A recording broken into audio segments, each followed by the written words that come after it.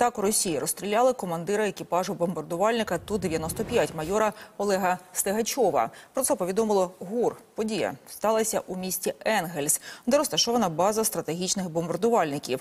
І от відомо, що пілоту був 41 рік, і він безпосередньо причетний до нанесення ракетних ударів по Україні, а також вбивств цивільних громадян.